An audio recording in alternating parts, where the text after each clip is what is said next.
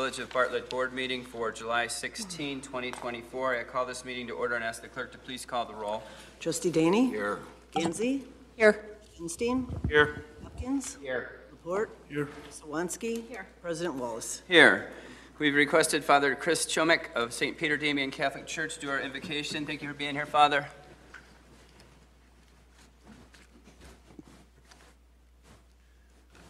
Lord God, as you gather us this evening, we praise you and thank you for all your graces, all the good that is in our life. Help us always to recognize it and appreciate it and be thankful for it. And we humbly pray, may your blessing come upon us. Bless each and every one of us. Bless this meeting. Bless those who govern us in Bartlett. We also ask for your protection upon everyone in Bartlett in a special way protect our police officers, firemen, first responders. Bless everyone here who is going to dialogue, who is going to uh, have conversations with your wisdom, dear God, with uh, right judgment. We also, dear God, as we gather to this evening, we pray for your peace. We pray for God's peace within our hearts, in Bartlett, in our nation, and the whole world. And together let us pray with that prayer Jesus Christ himself gave us. Our Father, who art in heaven, hallowed be thy Thy name. name, Thy kingdom come, thy will be done. on earth as it is in heaven. Give us this day our daily bread, and forgive us our trespasses, as we forgive those who trespass against us.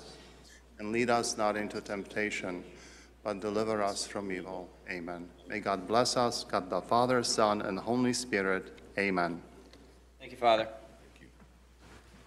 I pledge allegiance to the flag of the United States of America and to the republic for which it stands, one nation, under God, indivisible, with liberty and justice for all. okay. Play ball. This brings us to our consent agenda this evening. All items listed with an asterisk will be enacted in one motion. There'll be no separate discussion on items on the consent agenda. That being said, would anybody like to add or remove anything from the consent? Could I add item D3 to the consent agenda tonight? I Think we talked about noise limitations enough? If so. Okay, everybody good with that? Yes, absolutely. Thank you- Thank you, Adam. I would like to add A1 and 2, but I want to know, we don't have to. No, I would like, just have a discussion. All right. Anything else? All right, so I will, let's see here. Request uh, a um, motion to amend the consent agenda this evening, which will be including the minutes from committee July 2nd, 2024, board July 2nd, 2024, the bills list from July 16, 2024. The consent this evening will also be including items D1, 2, and adding item 3 under License and Ordinance Committee. The consent this evening will also include items E1 under Pub- Police and Health Committee. The consent this evening will also include items F1 and 2 under Public Works and Golf Committee. So moved. Second. By trustee Daney, second by trustee Laporte. Will the clerk please call the roll? Trustee Hopkins? Yes. Laporte? Yes. Swansky? Yes. Daney? Yes. Gandsey? Yes. Gunsteen? Yes. The motion carries. Entertain a motion to approve the amended consent agenda. So moved. Second. By trustee Daney, second by trustee Laporte. Will the clerk please call the roll? Trustee Laporte? Yes. Swansky? Yes. Daney? Yes. Gandsey? Yes. Gunsteen? Yes. Hopkins? That motion carries. Next on our agenda this evening is the treasurer's report. Mr. Treasurer? Thank you. Included in uh, board packets for this evening is the treasurer's report for the month of May. Also included is the sales tax re- report. We received $296,621 this month. That was 40,000 more than last year. Uh, We had been down the last couple of months before. Uh, Could be uh, catch up from that, or it could be uh, we're having our new grocery store and our um, auto dealership starting to uh, receive the sales tax. For our motor fuel tax, we received $143,652, just about consistent with the previous months. As far as the um, local government distributive fund, we received $1,100,000.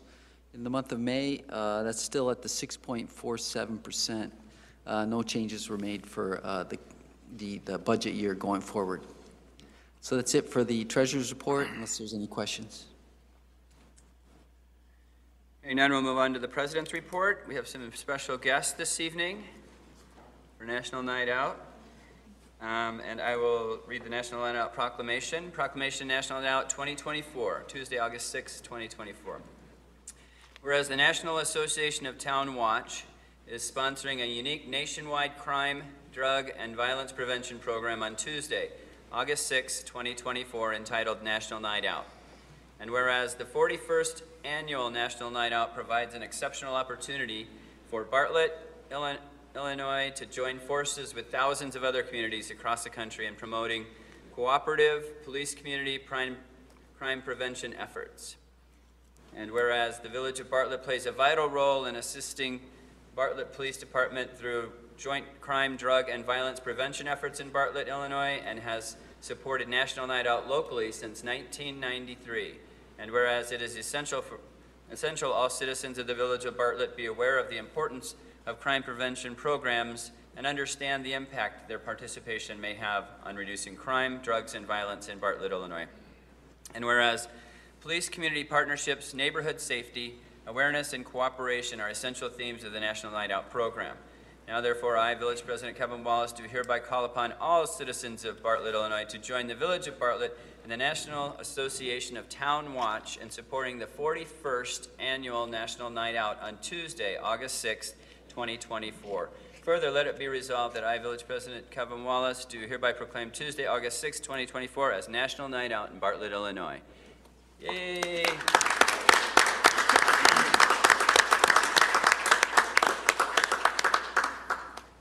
Mayor, they want to say thank you to you and obviously our village board here. I want to thank our uh, administration, both on the village and police department, for your continued support every year that we do these programs. Um, Just wanted to touch base, on August 2nd, we have our Family Fun Night and Twilight Pool Party. Um, That starts at 5 PM. It's going to be down at the Barley Community Center. Um, August 3rd, we have our block parties and lighting competition. That's kind of the staple of National Night Out. We always look forward to all the block parties and what the residents put out. Um, On August 4th, we have our putt, chip, and drive crime out of uh, golf event. That's going to be at Bartlett Hills. That starts at 1 PM. And obviously, we're going to conclude with our National Night Out picnic in the park on August 6th, as you elaborated. And we couldn't do it without any of you, so thank you again. How many, how many block parties do we have? 14 right now. 14 block parties, all right. Well, thank you, guys.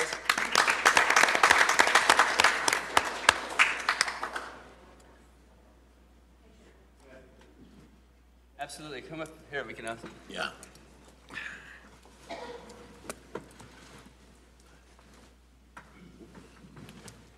Somebody dropped something here.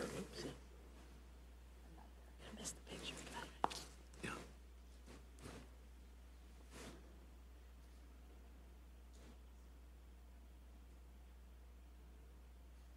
all right.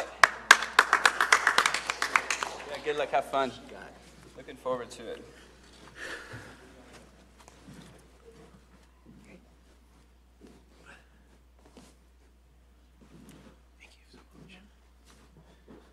Next item I have is a proclamation recognizing Code Enforcement Officer Susan DuChesne upon her retirement from the Village of Bartlett.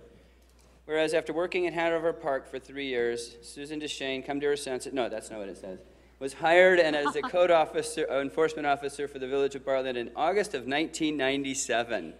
Wow. And whereas during her tenure with the village, Susan earned certif- certifications with International Co- uh, Code Council and the American Association of Code Enforcement as a property maintenance and housing inspector, a code official safety specialist, and also was elected to serve as secretary of the Illinois Association of Code Enforcement from 2013 to 2015. And whereas her professional cred- credentials attest to Susan's extensive knowledge and proficiency for enforcing the maintenance standards and conditions of all properties, buildings, and structures in our municipality, and her expert ability to ensure that the village structures are safe, sanitary, and fit for occupation. And whereas when Bartlett experienced a major storm event and widespread flooding in September of 2008, Susan assisted with flood assessment damage reports, and the aftermath was a key representative for her department in emergency services disaster tabletop training exercises and the Operation Safe School training exercise. And whereas it was Susan who was tasked with presenting the village's first code enforcement case at a local adjudication hearing in 2015. Previously, all cases were heard at Cook County Housing Court. And whereas the village is forever appreciative that Susan made the investigation of code complaints, the enforcement of village ordinances, and protecting the integrity of our community's public health, safety, and welfare, her full-time job for 27 years. Now therefore, I, Kevin Wallace, President of the Village of Bartlett, Cook, DuPage, and Kane Counties, offer our many thanks to Code Enforcement Officer Susan DuChesne for her years of service. We are proud to have had you as an employee in the Village of Bartlett, and we wish you a retirement free from worries about overgrown yards and rogue business signages, and filled instead with many years of family fun, good health, and much happiness. Dated the 16th day of July, 2024. Congratulations.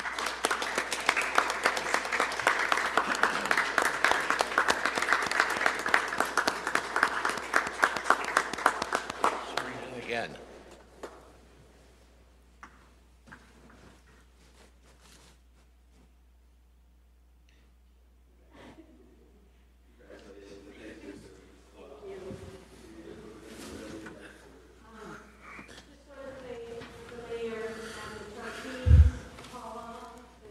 for giving me the opportunity to work for the village of Bartlett and to work for the residents of Bartlett. I hope I can make a difference and, uh, help people out and understand the appropriate funding we have working for the city. Thank you.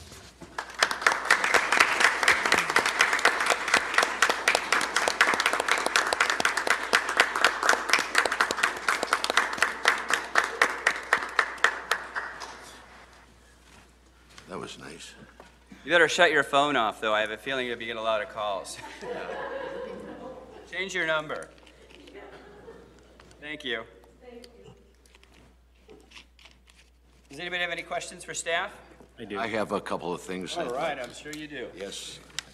Uh, First, I'd like to recognize the uh, anniversary list for our commissioners. And uh, we really appreciate the efforts that they put forth in serving our, our community. Uh, George Cozio has uh, 21 years of service on the Planning and Zoning Committee. And on the Police and Pension Board, we have John Sias and Dan Palmer, both with seven years. So congratulations, guys, and thank you for everything you're doing to help the village. And then I just want to have a shout out for our Bartlett Police Department for the efforts that they put forth in the little altercation that we had on July, uh, during July 4th. Thank you so very much. And my understanding is no one was hurt at that, which is really, really appreciated.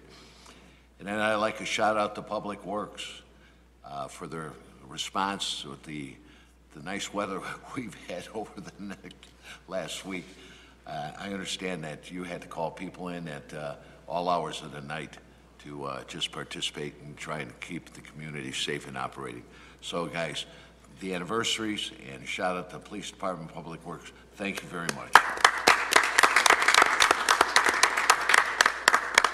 And Dan is speaking at the Rotary meeting this Thursday, isn't he? Yes.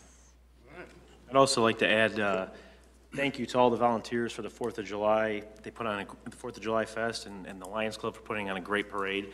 I felt that this fest was probably one of our best ones yet. The weather was fairly cooperative. And I also want to extend a, a, a huge thank you to our police department. Um, the response to that scuffle was unbelievable. And uh, when you walk out and you see police cars from every village as far as the eye can see down the street, uh, you know that the Bartlett Police Department has the respect that they deserve and need to get things done. So, well done, and I, makes me feel safe living in Bartlett. So thank you. Yeah, thank you. Anyone else? Well, let's, you know what, that deserves a round of applause also.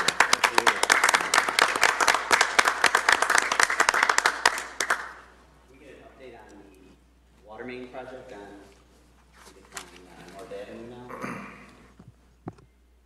It's going good until this weekend.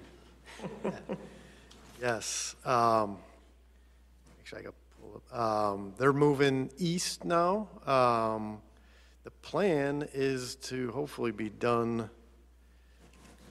with all the water main before school starts. Um, And right now, weather permitting, um, it looks like we're going to be real close to having The main wall should all be in, they might be working on final restoration type stuff, Um, but they're moving along. We are working on improving our communications, making sure that we're uh, working with the contractor. They had multiple crews coming in, which was kind of where we got out of whack, and we were starting to get calls. Um, But I think we've worked that out, so we'll do a, uh, they're going to do a daily update, providing us of what section they plan to be on and what will be detoured um, during that stretch. Um, But it's moving along pretty well, so. After that project, do they repaving North Avenue and Oak?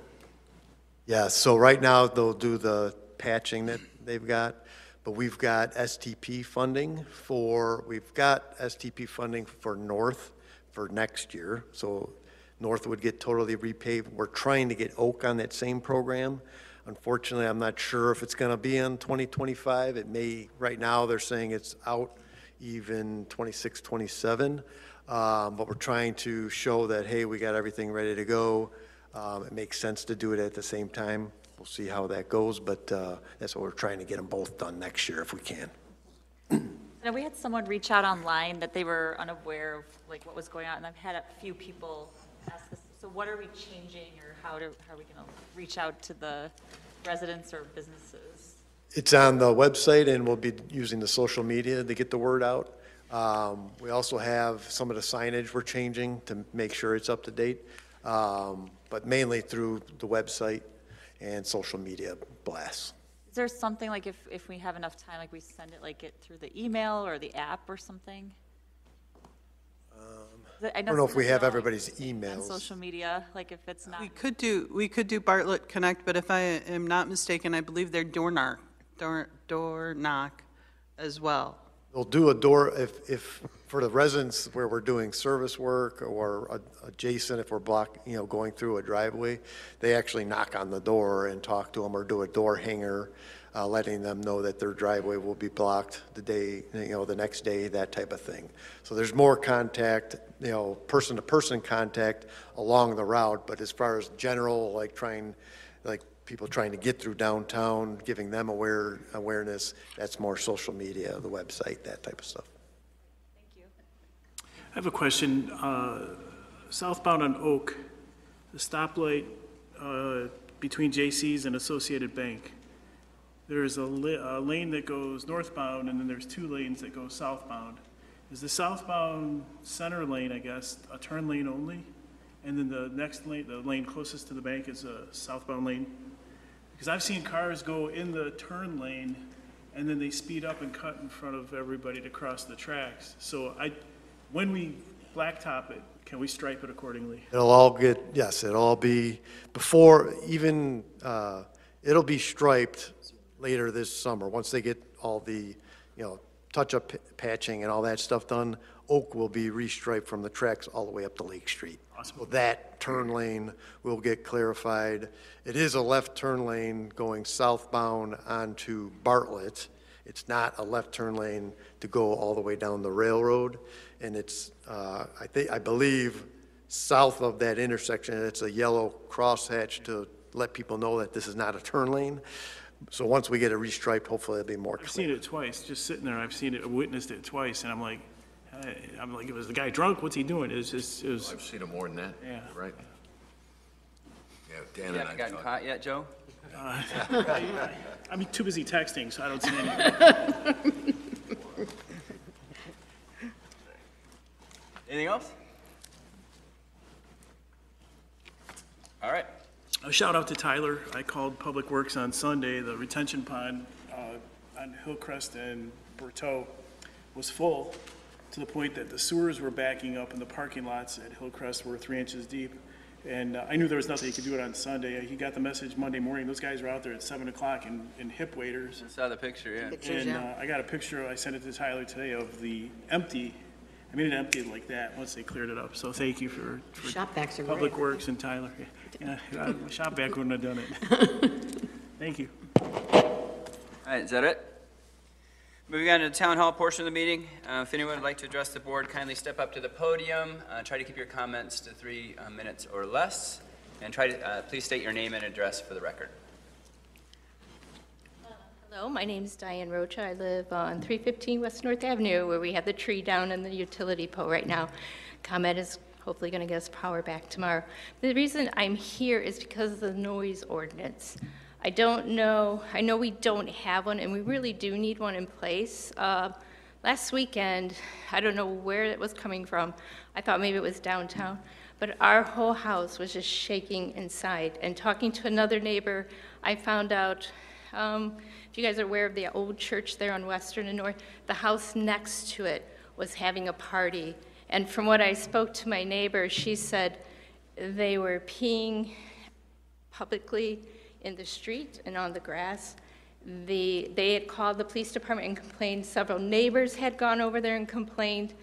And the police said that there was nothing they could do about it because we don't have a noise ordinance. But I mean, when you're in your bed and your whole body is vibrating because the bass is so loud, I mean, we shouldn't have to have to call the police. There should be something in place so if we do, that they will do something. Because this went on until like midnight. I mean, and I mean, I'm in bed already and I didn't call because I had no idea where it was coming from. I thought, why are they doing it downtown? And that's something too, because we are close to downtown and we've been here probably close to 42 years. And we've never had all this noise before. I mean, you know the traffic's atrocious. Even with ComEd, we've had people at 3 o'clock in the morning yesterday trying to fly down our street. And the ComEd guy told me he had to turn on the lights, and the guy's like, I'm trying to get through. And he goes, Well, if you insist, go ahead. And the guy goes, Oh, I can't get through. He goes, That's why I'm here. So, you know, I just wish you guys could do something at least about the noise. Let's get a noise ordinance going. I know traffic-wise, I'm hoping once we get Bartlett and 59 open, maybe that alleviates some of our cut-through traffic. But I, I just wanted to bring that to your attention, and I wanted to make sure I could make that meeting to let you know that we're still thinking about that. And we know you guys and love the Fourth of July Fest, love seeing your grandbabies too, Renee. So I just want to thank you so much for all you are doing and listening to us, and hopefully we can get these issues up and get these resolved, okay? Thank you, Diane. And don't hesitate to come back if it doesn't help the noise. I, I want to point out that we just passed a noise ordinance tonight. Oh, yes. We did.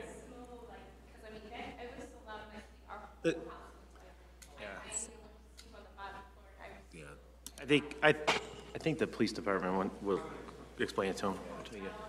I would think that, Thank you, Diane. I would think that public urination would be a, wait, a reason Would to. anyone else like to address the board at this time? Chris? John, I mean? Chris is long gone. No, Mayor, we do not. All right, thanks, John. Yeah. Um, There's no one else. We'll move on to the standing committee reports this evening. First standing committee report is under Building and Zoning Committee, Chairman Gunsteen. Thank you, President Wallace. We're going to flip uh, one and two. We're going to start with item number two tonight. Um, It's the residents of Bartlett Station. It's the Second Amendment to the amended development agreement. The village previously entered into a purchase and sales agreement and development agreement for the residents at Bartlett Station, a 90-unit apartment building development on the properly, property previously owned by the village. Both agreements have been amended several times, and the developer is requesting an additional amendment to allow the following changes. He's requesting to replace the construction management consultant with Donovan Consulting Group LLC or comparable company to the approve, to approval of the village. He's also requesting to eliminate the requirement that concrete foundation and plumbing contractors to be union. As part of this amendment, the developer will be required to fit, submit full revised architectural plans for the apartment development no later than September 30th, 2020. I also want to point out that as of today, he has, we have redone the amendment, so we are voting on a revised amendment, which has eliminated the non-union clause for the plumbing.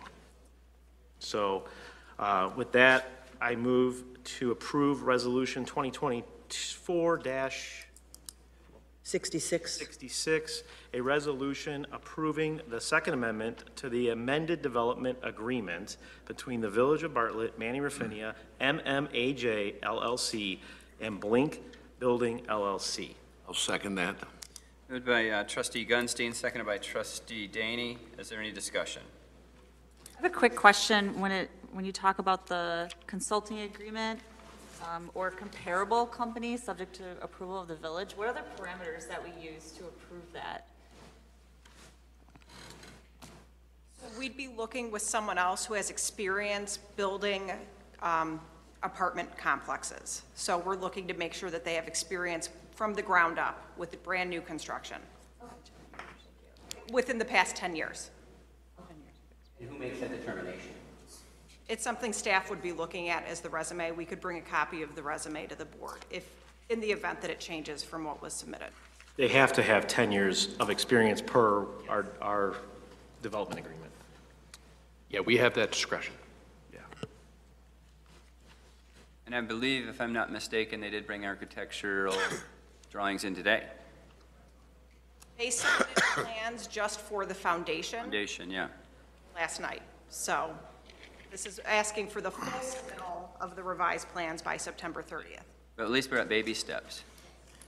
It's progress. The One thing I saw, and I don't know whether it was in item A1 or 2, but it said that it shall, the developer shall give the village uh, progress updates. So, I mean, what does that mean? Like, if they don't perform, or, let's say they keep sending us, we haven't started, we haven't started, I mean, what's, what's the recourse? So, oh, Chrissy, if you'd like to. So our, Just curious of the language. So our PUD ordinance allows us to have a hearing to revoke their approvals if the village deems the developers abandoned the project. So we have the right, the village board has the right to ask for progress reports. We thought we'd be proactive and ask for them up front on a monthly basis, just because this project has been delayed. Yeah. Good. I have a question in the exhibit, Exhibit A, where we, it's on page three. Trades or subcontractors on the project required to be paid not less than union wages. So the seven listed here are required to be paid less than wages, is that correct? Yes, that's correct. So I don't see electricians, I don't see roofing, oh, I do see roofing. I don't see electricians here, though. And does the parking lot fall under concrete, or is that separate? So uh, the requirement to have certain contractors be union um, was part of the original development agreement approved by the board back in 2020. So these were the ones that were originally approved as non-union, uh, or as union requirements. All of the other contractors outside of these can be non-union contractors. That's been part of the agreement since 2020. The change here is to take out foundation from that list. I, I believe that electrical and mechanical was originally in the original agreement as union. That was not part of the actual listing of the contractors in the original agreement.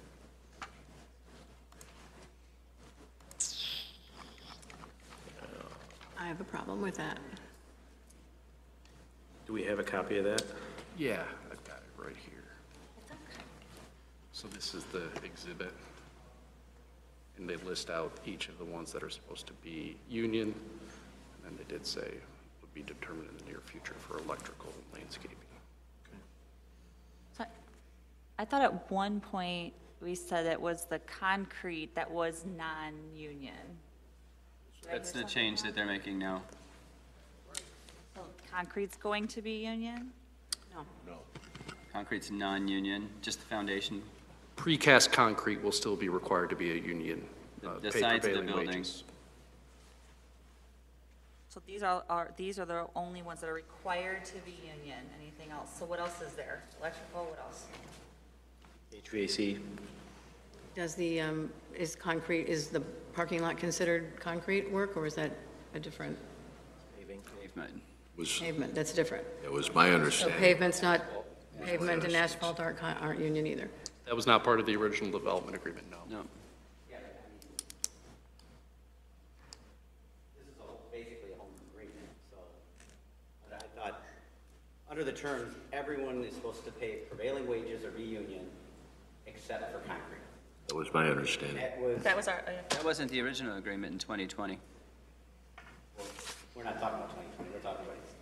But all we've been doing is amending the original agreement all the way through this.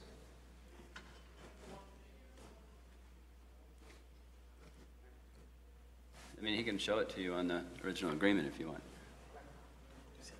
Yeah. I guess I was under the impression that there I was was only looking- one. yeah. That, that was what I heard. That's what I heard also.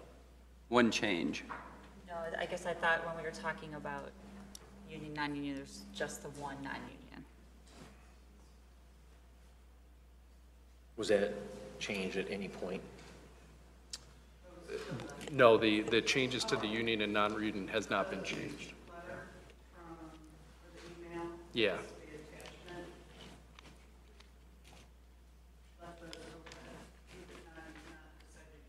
Yes.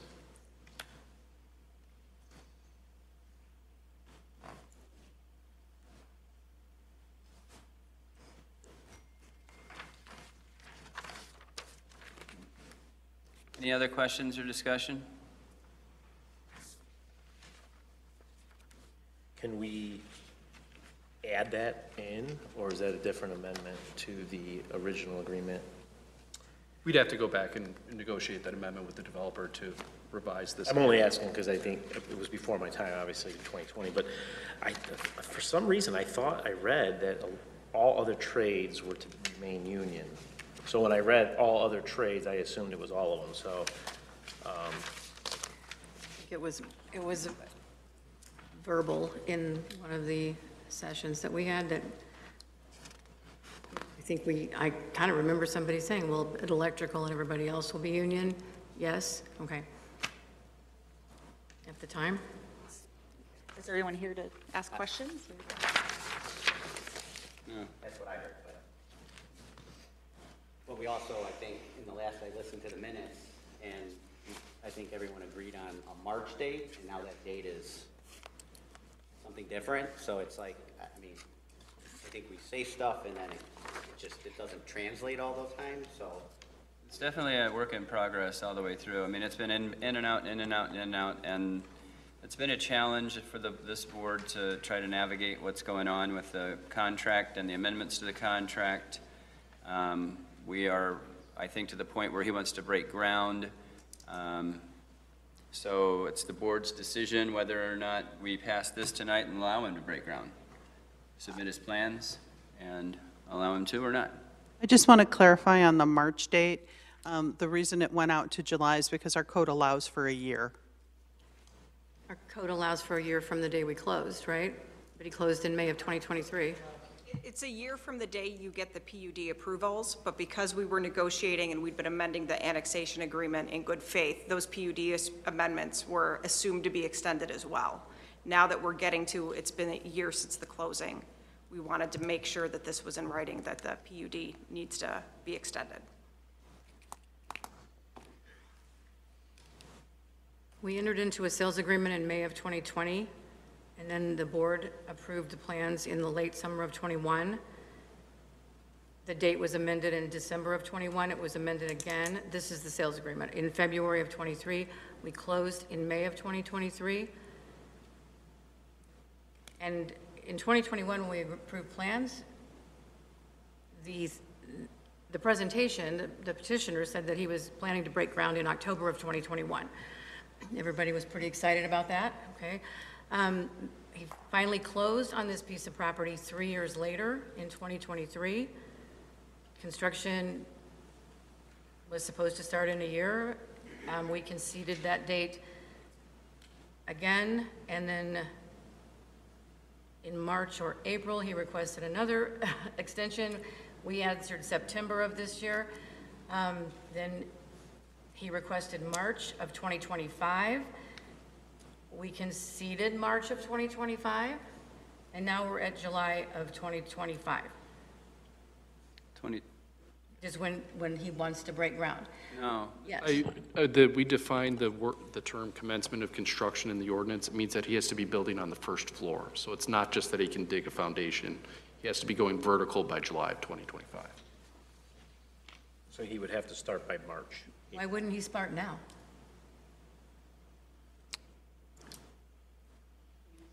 Think you'd want the building up and making money on it. Indicated to me today that he would like to begin as soon as possible, which is why he wanted these agreements on the board tonight.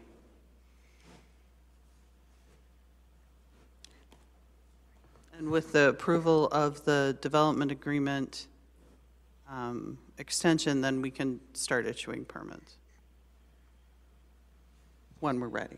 Yeah, I, I, I just, those of you that don't know, and the public, general public know what's happened with this project. It's, it's a, it's a yin and a yang between the village and a developer who really has some legitimate reasons for the expenses caused by what has happened in supply chain and everything else. That was a two-year event.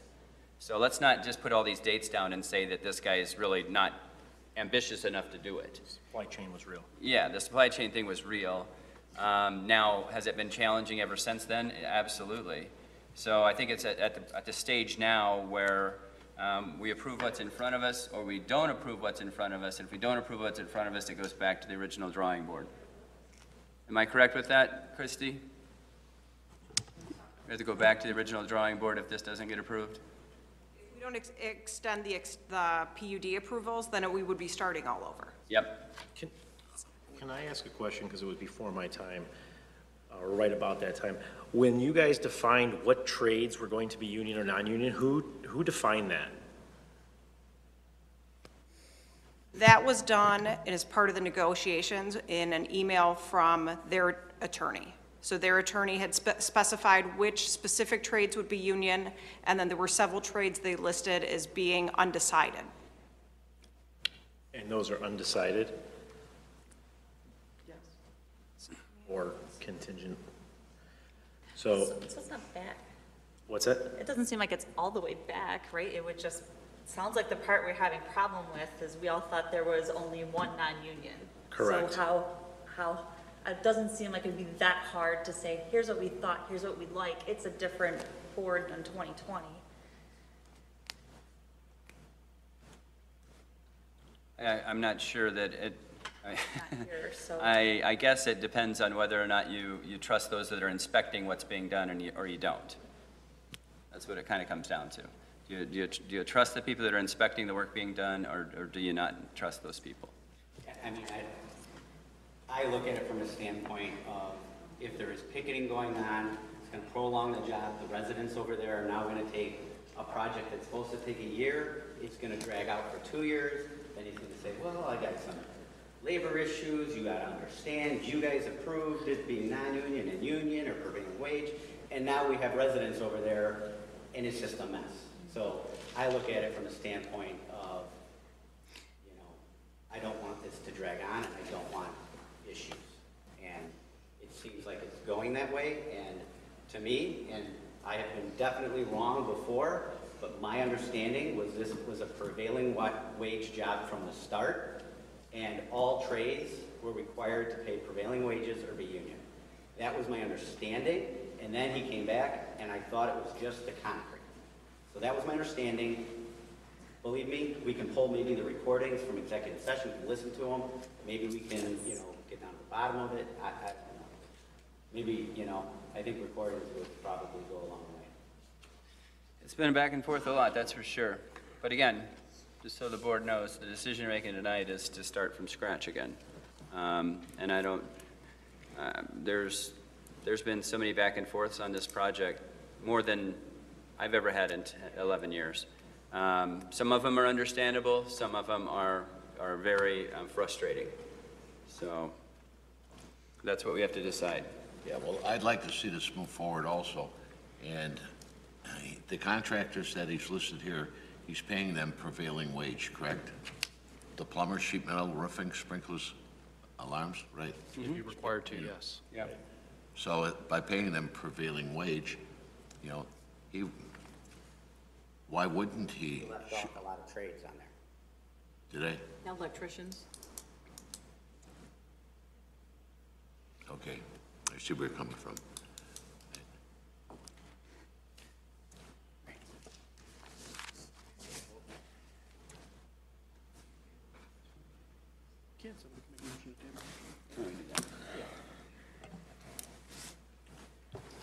Think it's probably the best interest of keeping this work that's already been done intact, to table this and um, move it to another meeting versus just completely shut it down.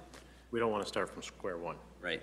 No, we don't. We just want to clarify, bring it back. Yep. Okay. So I need a motion to table. As a matter of fact, I'll make a motion that we table it. I'll second it. So it's a motion been ident- made by uh, Let's identify what we want to clarify. trustee Daney to table. Yeah. I think we've got the gist of what needs to be discussed. I have a second by trustee um, Gunsteen. Will the clerk please call the roll? Trustee Swansky? Yes. Daney? Yes. Gandsey? Yes. Gunsteen? Yes. Hopkins? Yes. Laporte? Yes. This, uh, um, items, A, item A2 has officially been tabled. And we, Mr. President, I'd like to table A1. Make a motion. I'll make a motion. Second. Moved by trustee Daney, uh, seconded by trustee Swansky to table items um, A1 in the Building and Zoning Committee, um, Standing Committee reports. Will the clerk please call the roll? Trustee Daney? Yes. Gandsey? Yes. Gunsteen? Yes. Hopkins? Laporte? Yes. Swansky? Yes. Thank you, Mr. That has President. been tabled. That's all I have tonight on building and zoning. We need to specify a meeting. Do we need to specify a meeting? Uh, no. Okay. All right, thank you, Chairman Gunsteen. Um, Community Economic Development Committee, Chairman Gandsey. Thank you, Mr. President. We have nothing to report tonight. Thank you, Chairman Gandsey. Finance Committee, Chairman Laporte. Uh, Thank you, Mr. President. Nothing to discuss tonight. Thank you, Chairman Laporte. License and Ordinance Committee, Chairman Hopkins. President Wallace, uh, one, two, and three were covered under the consent tonight. Thank you, Chairman Hopkins. Um, Police and Health Committee, Chairman Swansky. Thank you, Mr. President. Item E1 was covered under consent. Thank you, Chairman Swansky. Public Works and Golf Committee, Chairman Daney. Thank you, Mr. Mr. President. We had two items on the agenda, F1, F2, were all covered under consent. We have nothing else for this evening. Thank you, Chairman Daney. Um, under- Any new business that anybody would like to discuss? I've got a question uh, back to the building and zoning. Um, So we're not meeting in August 6th because we've got National Night National Out. Night Out. So does that mean we have to wait until the third Tuesday to discuss Manny's? It seems like we're losing a lot of time. Can we call a different meeting? We can call a special meeting if we want to, yeah. Let's, let's kind of play it by ear and see where negotiations are at with the attorneys and what the requests are. I think staff's got enough information from the discussion we have about the requests that are being made. Am I correct? Okay. Any other new business? I just want to like clarify that. So is it one non-union? Or do- I think what we'd, what we'd like to clarify is all of them, whether they're union or non-union, so we don't have any confusion. Well, I think we've already established the fact that the foundation could be non-union. Yeah. And that was, we agreed, all of us agreed to, That That was one, yeah. yeah. I just want a, a nice clean list that says, these, Spell it out. these particular contractors are union, these are non-union, so we know what's what. Um, any other new business anybody would like to discuss? Um, I would like to, at a future committee meeting, uh, discuss how we dispose of, um, executive session minutes and recordings. And actually, we can extend it into all, um, product, work product that is generated at the village and how it's disposed of. So, I know, just for background for my fellow trustees, I requested the recordings for um, the executive session minutes dealing with Site E, and a lot of the recordings, which was approved by the board to be um, Released? not released, but basically. uh, Destroyed. Destroyed. That's what it meant, yeah. So um, we weren't, I wasn't able to listen to the actual footage or, you know, audio of it. The one from June that I requested, they still had available, but that was the only one, I guess, because he requested the rest. So yeah, this is something maybe we could Just review the policy on that? Okay. Kurt- Anything else? Kurt, could you just um, outline what the um, state requirements are for destruction? Yeah, certainly. So the Open Meetings Act allows any public body to destroy the verbatim recordings of a closed session as long as the closed session is longer than 18 months prior, and we've already approved minutes. So it's pretty routine for public bodies to destroy the verbatim recording once you have minutes and once that meeting's older than 18 months. So that's allowed by state law, and it's pretty much routine for everybody to destroy recordings like that. So that is allowed by state law. What about executive? That's what That's we're what it talking about. closed session, yeah. Yeah, that's, oh, because executive sessions are the only ones that are required to have an actual audio recording. I, I, yeah, that's, Yeah. thank you for clarifying that, but I think if it's an ongoing, project currently that we're working on, and now we want to go back, we have a new board. Should be They pulled wanna get out. Some context, and now they can't really get that context. Anything that hasn't been finalized, I agree, should be pulled out. I just wanted to clarify that we weren't in violation of the Yeah, we're not in violation, it's just a matter of changing Yeah. the policy. And, and the minutes are done There verbatim. was another executive session. Haven't we had another one within the last six months, other than June? On Site E? No, I don't think so. We've had one. Yes, so that would have been within 18 months. You got the recording on that one, though. But there was one before that, was, that was not older than 18 months. No, there was just one. The previous one was from, I don't have it here. Like, th- two years ago? yeah. All right, good point. Um, Anyone else have any new business they'd like to discuss? Any other questions for staff?